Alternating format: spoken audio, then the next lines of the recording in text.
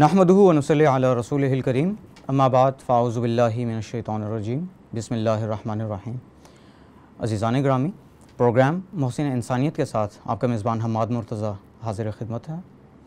ہمارا آج کا موضوع ہے حضور صلی اللہ علیہ وسلم بحیثیت فاتح. عزیزان گرامی، آپ صلی اللہ علیہ وسلم نے اپنی پوری زندگی میں کبھی تلوار نہیں اٹھائی تھی، کسی کا قتل نہیں کیا تھا، کسی کو ایزا نہیں پہنچائی تھی آپ صلی اللہ علیہ وسلم بہت پرامن، تاجر، صادق اور امین اور اپنے کام سے کام رکھنے والے ایک پرامن انسان تھے۔ کبھی کسی جنگ میں حصہ نہ لیا، کبھی کسی فضول کھیل کود میں بھی شمولیت اختیار نہ کی۔ لیکن اعلان نبوت کے بعد آپ صلی اللہ علیہ وسلم نے مختلف غزوات میں حصہ لیا اور غزوات کے علاوہ سرایہ جس میں کہ آپ صلی اللہ علیہ وسلم بذات خود شریک نہ ہوئے اپنی جگہ کسی کو نائب بنا کر بھیجا، ان کی مجموعی تعداد تراسی ہے۔ عزیزان کرمی اگر ہم غور کریں تو جنگ عظیم اول اور جنگ عظیم دوم میں اور انقلاب روس کو بھی اگر دیکھا جائے تو اس میں قتل ہونے والوں کی تعداد سینکڑوں میں نہیں تھی، ہزاروں میں نہیں تھی، لاکھوں میں بھی نہیں تھی، بلکہ کروڑوں میں تعداد تھی مقتولین کی۔ دونوں جانب سے جتنے فوجی قتل ہوئے، ان کی تعداد کروڑوں میں پائی جاتی ہے۔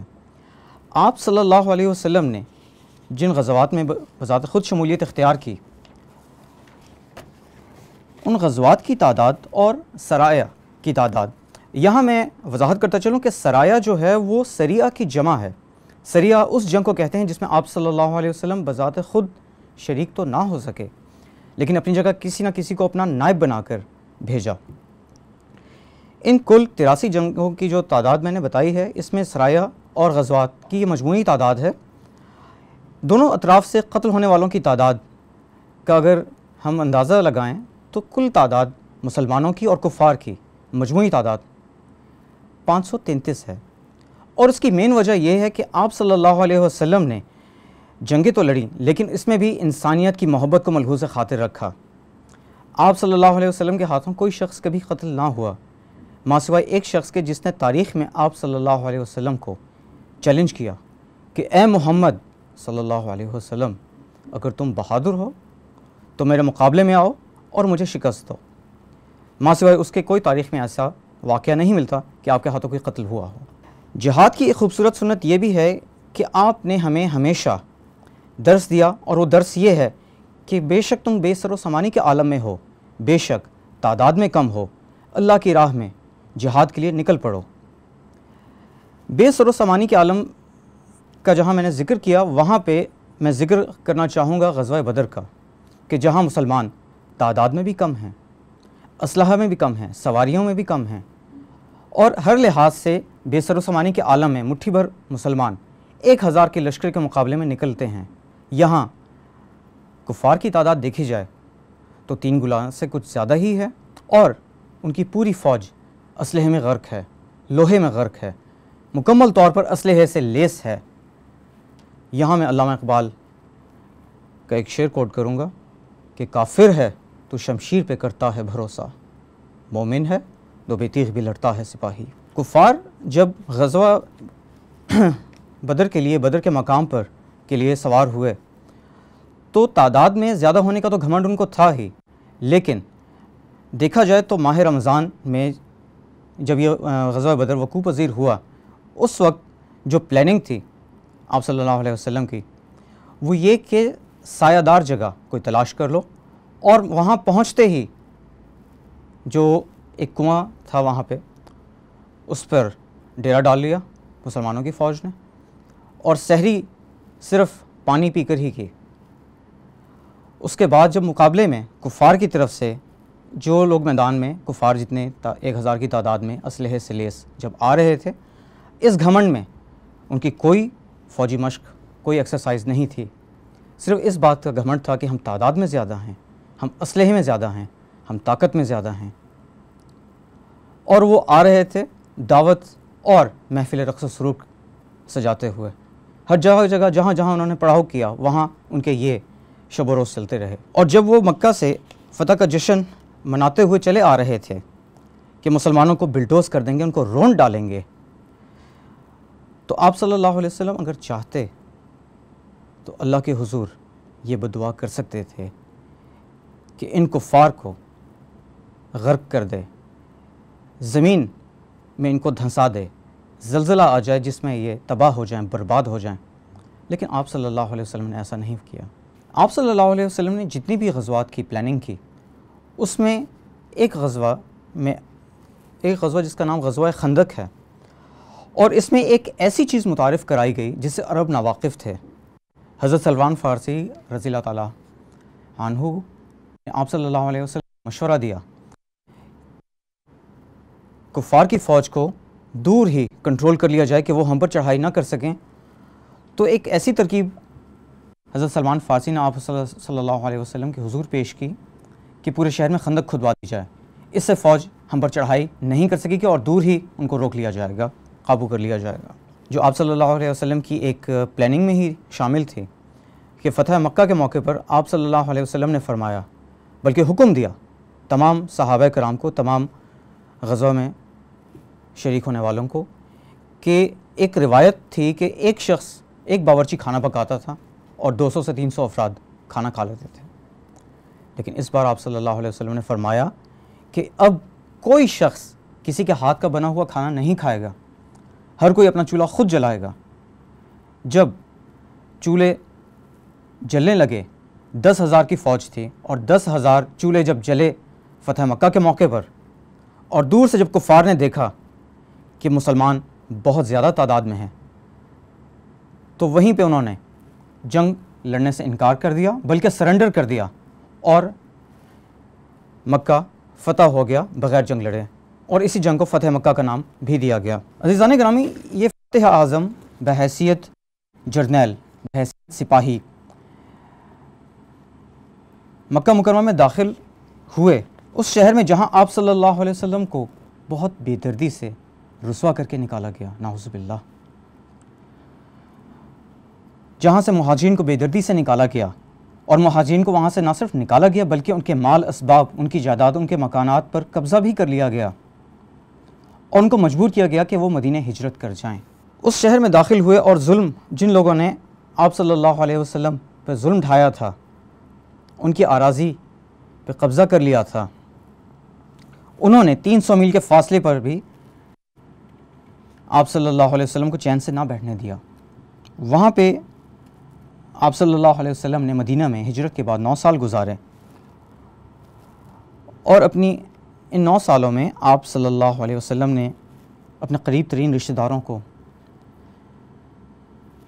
میں قتل ہوئے جن میں ان کی اپنی بیٹی آپ وسلم کی شامل ہیں، آپ وسلم کے چچا بھی شامل ہیں۔ اب جو لوگ فتح مکہ کے بعد جنگی قیدی بنے ہیں، سب منہ لٹکائے حرم میں آپ وسلم کے روبرو کھڑے ہیں۔ ان میں ابو سفیان بھی شامل ہے۔ اور اس کی بیگم، اس کی بیوی ہندہ جس نے نعوذ باللہ سیدنا امیر حمزہ، جو کہ آپ صلی اللہ علیہ وسلم کے چچا اور آپ کے رضائی بھائی بھی ہیں، کا کلیجہ چبایا تھا۔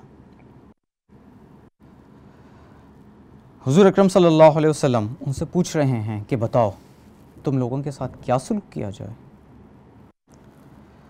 یہ لوگ وہ ہیں جن کو اگر واجب القتل قرار دے دیا جائے ان کے مال اور اسباب چھین لیے جائیں، ان کی جائیدادوں کو مال غنیمت کے طور پر تقسیم کر دیا جائے، تو ان کو کوئی اختیار نہیں ہے کہ وہ زبان بھی کھول سکیں۔ آپ صلی اللہ علیہ وسلم کے حضور سر بھی اٹھا سکیں۔ کیونکہ اس وقت وہ لوگ جنگی قیدی ہیں، نہ کہ پاور میں ہیں۔ آپ صلی اللہ علیہ وسلم نے عام معافی کا اعلان کر دیا۔ اب ہندا کو یہاں پہ یہ گمان تھا کہ جو اس نے نعوذ باللہ، آپ سیدنا امیر حمزہ کے ساتھ کیا۔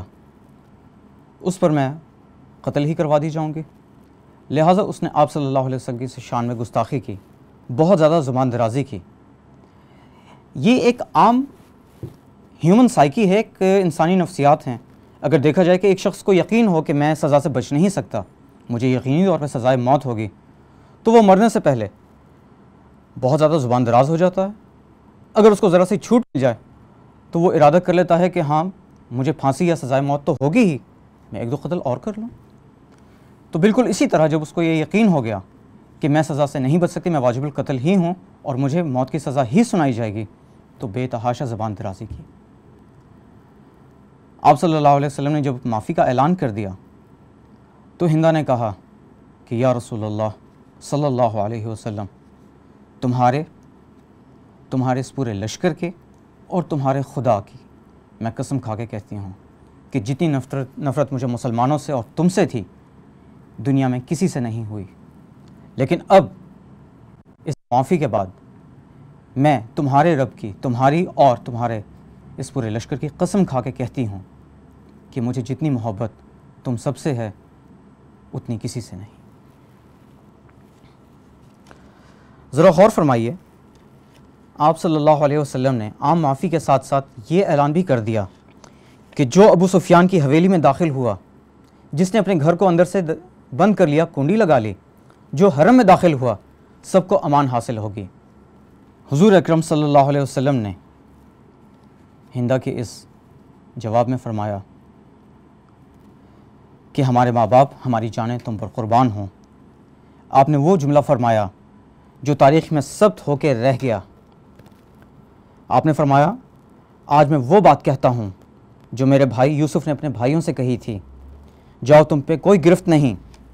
تم سب آزاد ہو۔ تم سب امن میں ہو۔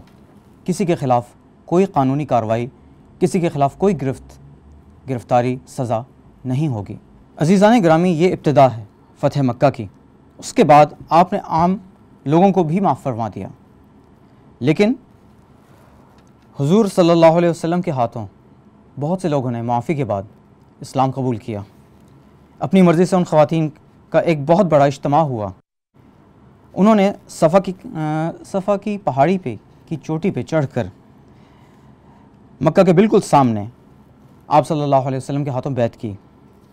اس بیت کے موقع پر دل دہلا دینے والا ایک واقعہ پیش آیا۔ آپ صلی اللہ علیہ وسلم خواتین سے بیت لے رہے تھے۔ کہ ہند ابو سفیان کی بیوی، جو کہ اس زمانے میں مسلمان نہیں تھے، وحشی جس نے نیزہ پھینک کر سیدنا امیر حمزہ کا قتل کیا، اور ہندا جس نے سیدنا امیر حمزہ کا کلیجہ چھپایا۔ ہندا وہی خاتون ہے جس نے غزوہ عہد کے لیے تمام کفار کو للکارا۔ جنگ عہد میں، غزوہ عہد میں پورے قریش کو آگ لگائی اور ایک فتنہ برپا کیا۔ اور یہ فتنہ برپا کرنے کا مقصد جو کفار ہلاک ہوئے غزوہ بدر میں، اس کے جو رشتہ دار عزیز ہلاک ہوئے، ان کا انتقام لینا ہی تھا۔ اب اس خاتون کے جرائم کی فہرست اتنی طویل تھی کہ اس کو خود معلوم نہیں تھا کہ آپ صلی اللہ علیہ وسلم اس کے ساتھ کیا سلوک کرنے والے ہیں۔ آپ صلی اللہ علیہ وسلم فرماتے ہیں کہ آپ بدکاری سے باز آ جائیں اور بیٹیوں کو زندہ درگور نہ کریں۔ ہندا نے فرمایا، کہا کہ یا رسول اللہ، میں بیٹیوں کو زندہ درگور نہیں کرتی، میں خود بھی کسی کی بیٹی ہوں۔ تو اونچی آواز سے کہتی ہے کہ ہم کہاں زندہ درگور کرتی ہیں؟ اولاد کو زندہ درگور نہیں کرتے، ہم اولاد کو پالتے ہیں۔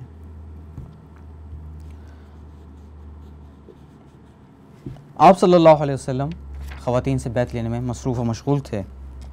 آپ صلی اللہ علیہ وسلم ہند کو اپنے قریب بلاتے ہیں۔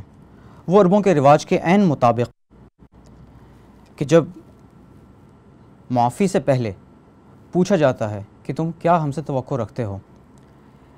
ہند نے تو زبان درازی کی، لیکن باقی جنگی قیدیوں نے یہ کہا کہ یا رسول اللہ، آپ ایک شریف آدمی ہیں، شریف ماں باپ کی اولاد ہیں۔ قبیلہ قریش کے ایک معزز آدمی ہیں، آپ سے ہم رحم اور شرافت کی توقع رکھتے ہیں۔ اس پوری بات پہ، آپ صلی اللہ علیہ وسلم کی عام معافی پہ ہند کا پورا کا پورا اعصابی نظام ٹوٹ پھوٹ کا شکار ہوا اور وہ دہل کر رہ گئی۔ اس کے تصور میں یہ نہیں تھا کہ اسے معاف کیا جائے گا۔ حضور اکرم صلی اللہ علیہ وسلم نے جب مکہ کو فتح کیا تو صرف دلوں کو فتح نہیں کیا۔ صرف مکہ کو ہی فتح نہیں کیا، بلکہ دلوں کو بھی فتح کیا۔ ذرا غور فرمائیے کہ مہاجرین جنہیں مکہ سے نکالا گیا تھا وہی سب کے سب فاتح تھے۔ اب وہ مکہ آ چکے تھے۔ اور جو کہ ان کی اپنی جائیدادیں تھیں، جو ان کو جدی پشتی وراثت میں ملی تھیں۔ اگر وہ لیتے تو ان کا حق تھا۔ لیکن آپ صلی اللہ علیہ وسلم، جن پہ فدا ہو ابھی و امی، آپ نے مہاجرین سے کہا کہ اے اللہ والو، اے محمد صلی اللہ علیہ وسلم والو، اے ایمان والو، تم اللہ کی خاطر آئے ہو۔ آج خود کو صرف اور صرف اللہ کے لیے اور آخرت کے لیے محدود کر لو۔ اور جو جائیدادیں تم چھوڑ گئے تھے اور تم سے چھین لی گئی تھیں، ان کی طرف مڑ کر بھی نہ دیکھو۔ آپ صلی اللہ علیہ وسلم نے مکہ کو فتح کر لیا۔ عزیزان گرامی، وہ جائیدادیں جن پہ اہل مکہ ناجائز قابض تھے۔ قبضہ مخالفانہ فتح مکہ کے بعد اب ان کا جائز حق بن گئی تھیں۔ لیکن آپ صلی اللہ علیہ وسلم کے کہنے پر انہوں نے اس کی طرف مڑ کر نہیں دیکھا۔ اپنی آراضی لکھ کر دینے کے لیے آئے۔ اور آپ صلی اللہ علیہ وسلم نے مکہ تو فتح کر لیا، لیکن وہاں پہ اپنی کوئی سپاہ نہیں بٹھائی۔ کوئی اپنا پولیٹیکل ایجنٹ کوئی اپنا اٹاشی نہیں بٹھایا۔ کوئی وہاں کا گورنر مقرر نہیں کیا۔ بلکہ اس علاقے کو فتح کر کے، فتح مکہ کے بعد، مکہ کو فتح کرنے کے بعد وہاں پہ امن و امان قائم کیا۔ اور امن و امان صرف حرم کی حد تک نہیں، حدود حرم تک نہیں، بلکہ جو شخص اپنے گھر میں موجود ہے، اسے بھی، اور جو ابو سفیان کے گھر داخل ہوا، اسے بھی امن عطا ہوگی۔ آپ صلی اللہ علیہ وسلم نے فتح کرنے کے بعد کوئی پولیٹیکل ایجنٹ کوئی گورنر کوئی سپاہ تو وہاں مقرر نہیں کی؟ یہاں پہ آپ کو فتح مبین کا خطاب بھی دیا گیا۔ پورے کا پورا شہر فتح ہوا۔ آپ صلی اللہ علیہ وسلم جیسے آئے، ویسے ہی رخصت ہوئے اپنی تمام سپاہ کے ساتھ۔ کیونکہ کفار تو سرنڈر کر چکے تھے۔ دونوں جانب سے کوئی، کسی کوئی جانی نقصان نہیں ہوا۔ آپ میں سے بہت سے لوگ، تاریخ کے اساتذہ ہوں گے، طلاب ہوں گے یعنی طالب علم ہوں گے۔ اگر انسانیت کی تاریخ میں اس قسم کا کوئی واقعہ آپ کے علم میں ہے، تو بتائیے۔ اس طرح کی فتح عام آدمی تو کیا میں نہیں سمجھتا کہ ہٹلر بھی حاصل کر سکے جو آپ صلی اللہ علیہ وسلم نے حاصل کی۔ انبیاء میں کوئی ایسی فتح، کوئی ایسی، کوئی ایسا فاتح کہ آپ کی نظر میں ہے کہ جس نے بغیر کسی جانی اور مالی نقصان کے پورے کا پورا شہر فتح کر لیا ہو؟ عزیزان گرامی، مکہ آپ صلی اللہ علیہ وسلم کیا لینے آئے؟ کیا لے کر گئے؟ کوئی مال غنیمت نہیں، کوئی مال و اسباب نہیں، کوئی آراضی نہیں، کوئی مال و جائیداد نہیں۔ صرف ایک امن قائم کرنے آئے اور شہر کو فتح کرنے اور دین کا غلبہ حاصل کرنے۔ عزیزان گرامی، پھر وہی بات ہے کہ جو دلوں کو فتح کر لے، وہی فاتح زمانہ، وہی فاتح عالم۔ وآخر دعوانا ان الحمد للہ رب العالمین۔